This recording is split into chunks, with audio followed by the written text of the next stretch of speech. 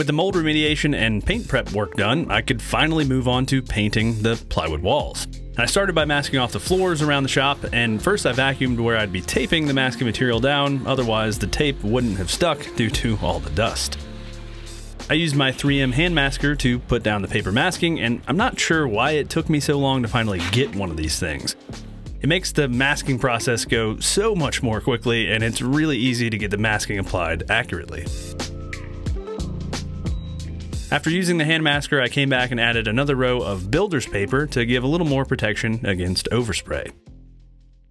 The last thing to mask off was the mini split units, and this was really where the hand masker shined, and I waited to mask these off until last so I could have AC while I worked.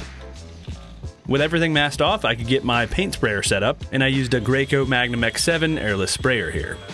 And I started with a coat of primer and got the sprayer set up with my primer for this project, Valspar PVA primer. And this stuff is insanely cheap, around 60 bucks for 5 gallons, and I was pretty impressed by the coverage. After getting the sprayer and gun loaded, I dialed in the spray pattern on a piece of cardboard, and I was using a 515 spray tip here. With everything looking good, I got my scaffolding moved into place, put on my respirator, and got to spraying. And when spraying, I tried to keep my gun perpendicular to the wall and overlapped each pass about 50%. And this 515 tip has a 10 inch wide spray pattern, and I was able to get good coverage fairly quickly. I probably could have gone with a 517 tip here to get a little more coverage more quickly, but the 515 tip worked fine. I continued on down the right wall of the shop, making sure to hit all of the walls and trim with a good coat of primer, and as you can see, things were looking really good. I burned through the first 5 gallon bucket of primer once I got into the CNC room and switched over to some KILZ 2 primer, which I had left over and wanted to use up. And one accessory I'd highly recommend when spraying is this little sprayer saver bucket stand. This genius little device tilts your bucket of paint to make sure your sprayer can suck up every last drop, and it's so nice not having to fight your sprayer running out of paint. I continued spraying, finishing up the CNC room, and then I moved out to the work platform area to finish up the first coat. I switched over to another bucket once I drained the KILZ, using up some more primer that was left behind by the previous owner, and in total I sprayed about 10 gallons of primer for this first coat. And just for reference, this first coat took about 2 hours to spray and I got it sprayed by lunchtime. In between coats, I dropped the spray gun into a bucket of clean water to keep the paint from crusting over, and I took a nice long lunch to give the paint a few hours to dry. I switched over to my paint for the second coat using another fairly inexpensive paint, this Valspar 2000 in Repose Gray, one of my go-to colors for neutral walls. And this was mostly just more of the same, although I changed my spray pattern going up and down rather than side to side, and this was just to make sure I was getting good even coverage. This second coat didn't take nearly as much paint since the plywood was pretty well sealed at that point, and I used one 5 gallon bucket of paint on this coat. I also got this cool GoPro time lapse of this entire coat of paint, and I thought this was a pretty cool angle with the GoPro on the back corner of my scaffolding. As you can see, I would spray the top row covering roughly 20 to 30 feet at a time, then I'd hop down and spray the bottom row overlapping between the two rows and this up and down spray pattern was a lot more taxing on my back, and I definitely felt it once I was done with this second coat.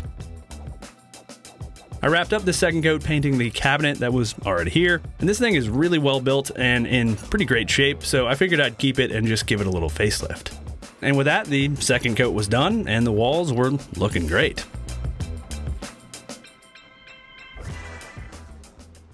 Well, I guess now we know what uh, what I'm going to look like in about 10 years once more my gray hair comes in. That's pretty weird. but glad I was wearing a respirator because otherwise this stuff would have been in my lungs. So always wear your respirator when spraying, especially a big room like this. After letting the paint dry overnight, I came back to some fairly rough walls, and this was because the water-based primer and paint I used raised the grain on the plywood, which is something I knew was going to happen and this particular sprayer can't spray solvent-based finishes, and I could have rolled on a shellac or oil-based primer to avoid this, but I felt like spraying the primer sped things up enough to where I was okay with sanding back the raised grain. To do the sanding, I used my DeWalt drywall sander. I did have to change my sanding pads fairly often as this latex paint tended to gum things up, but I was able to sand all of these walls in less than an hour. Once the walls were sanded, I got set up for the third and final coat, spraying more of the Valspar 2000 paint. And just like the second coat, I went through pretty much the entire 5 gallon bucket with just a tiny bit of paint left over. With all the painting done, all that was left to do was clean up the sprayer, which was pretty simple. I sprayed the paint left in the spray lines back into the paint bucket, and then ran water through the sprayer to clean the pump and the lines. I changed my bucket of water for some clean water and repeated the process, and with that, the gun was good to go. I left the paint to dry over the weekend and could start getting things cleaned up the following week by removing all of the masking material. Unfortunately, even with all this masking, I still managed to get some overspray on the floor, but thankfully it's not a huge deal since this shop floor has seen better days anyway. With that cleaned up, I wanted to finally start getting a few things organized now that the walls were painted. First on the list was my lumber rack, and I started by ripping some 2x4s down into 2x2s to use as mounting guides for the brackets. I set up a laser line for my first row about 2 feet off the floor and nailed the 2x2s in place in line with the laser. And I wanted to be able to store 16 foot long boards, so I needed to piece together each row with two lengths of 2x2. I'm using the same fast cap metal brackets I used in my last shop, and you can see how the bracket is designed to work with a 2x2 to make wall mounting go super quick. Next, I moved my line laser up about 18 inches for my next row and continued mounting more 2x2s. From there, I just continued up the wall, stopping about 2 feet below the ceiling joists. With the 2x2s in place, I could start mounting the brackets, and I spaced the brackets 32 inches apart, or every other stud, except for the very last column of brackets, which needed to be 16 inches apart to support 16 foot boards. The brackets install with 3 screws each and are incredibly strong once mounted. As you can see, I can easily hang from the brackets, so they should have no trouble holding my lumber. With the brackets mounted, I could finally get the rack loaded up, and it was so nice to be able to get the leftover framing lumber we brought from the old shop up off the floor. And as you can see, I've got 10 foot, 12 foot, and 16 foot boards on here, and they're all nicely supported. The next storage system to get set up was my brand new pallet rack from Global Industrial, and my plan is to stock up on plywood, hopefully when the prices go down some, and have quarter inch, half inch, and three quarter inch plywood ready to go so I can quickly load the sheets right onto the CNC. I had a fairly close call with one of the uprights falling right behind me, and thankfully I walked away from this unscathed, as this could have been a lot worse.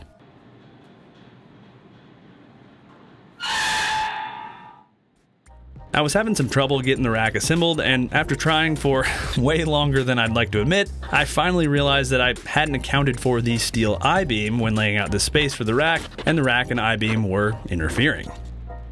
Thankfully, the fix was simple, and I could just cut a few inches off of the top of one of the uprights.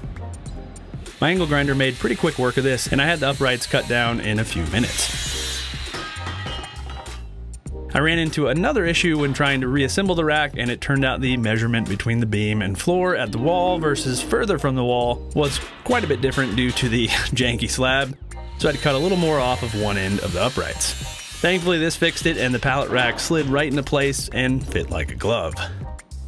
I added the second shelf about 30 inches above the first, and this should be low enough to still easily pull plywood off of the top shelf. Next, I wanted to move some pallets under the first shelf, but first I needed to shuffle things out of the way. I figured I could go ahead and move some of my workbenches into place on the work platform, starting with my Sjobergs workbench. And this thing is insanely heavy, but thankfully these Rockler workbench casters make it really easy to move around. Next up was my assembly table, which might be even heavier than my workbench, and for some reason I tried to use these little dollies to move the table, rather than just moving the Rockler casters over, and this obviously did not work as expected. I finally wised up and attached the casters, and as expected, this made moving the assembly table much easier.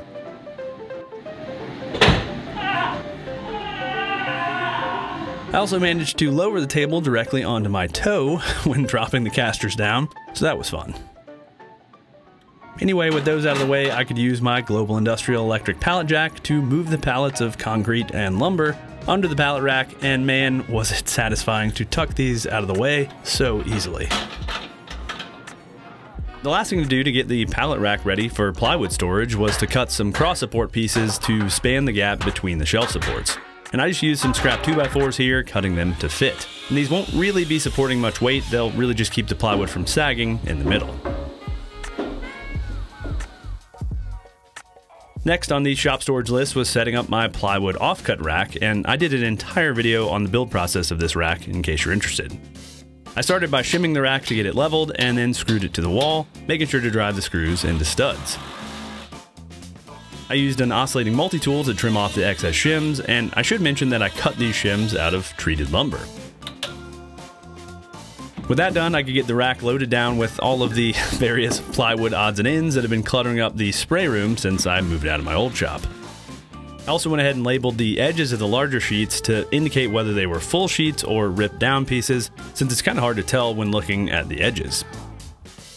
Last but certainly not least on the list was getting my French cleat wall hung up. And I've been using this French cleat wall for years now and love not only its storage utility but also how it looks as a filming background. I also have an entire video on making these French cleat panels and tool holders if you're interested in seeing how these were built. I started by hanging the leftmost panel, screwing it to the wall with 2.5 inch screws, making sure to hit the studs where possible. I repeated the process for the next two panels, probably going a little overboard with the screws, and then I also hit the panels with a random orbit sander to remove any of the staining from the mold that had built up on the panels previously. And the mold was already killed, which I covered in the last video, and I vacuumed the bulk mold off of the surface of the panels before sanding. The last thing I wanted to do prior to hanging my tools on the wall was to knock down the sharp edges on the cleats since it's really easy to catch a knuckle on these when grabbing a tool. I used a block plane for this and was also able to smooth out some of the areas where the rows didn't quite line up between the panels. Once that was done, I could start getting things hung back on the wall, starting with my drill charging station. And this charging station was made by Andy Glass, and I absolutely love it. I also realized just how filthy the thing had become with tons of black overspray dust from when I painted the tiny house kitchen cabinets back at the old shop. Thankfully, a quick sanding took care of this, and now I'll finally have a home for my drills and impact drivers in this new shop. Next, it was time to go through the box of tool holders I had built, and these were also pretty dang filthy. I gave them each a quick vacuum as I unpacked them and then got them mounted on the wall, using a screenshot from a video at my old shop as a cheat sheet to help me put everything back the way it was. I also went ahead and added one more French cleat to the left of the panels to hang some of my longer clamps and my most used ladder. And with that, the French cleat wall was done for the time being. All right, guys, with the French cleat wall up, it is really starting to feel like my own shop in here. It's super exciting to have some of these storage projects checked off. There has been stuff just scattered everywhere in this shop since I had to move out of my old shop, so that was a big relief. So next up, since the weather is beautiful right now here in Asheville, I figured I'd go ahead and knock out some of the outdoor projects that are on the to-do list, including the grading on the right side and the back of the shop, as well as building that front porch that I talked about in last week's video. So if you guys don't want to miss those videos, go ahead and get subscribed and ring the notification bell. Also, as always, I'll have links to all the tools and materials I use down in the video description below. And last, if you want to support me, I sell merch. I have plans available for a lot of my woodworking projects, and I have both Patreon and YouTube members set up. All right, thanks for watching, y'all, and until next week, happy building.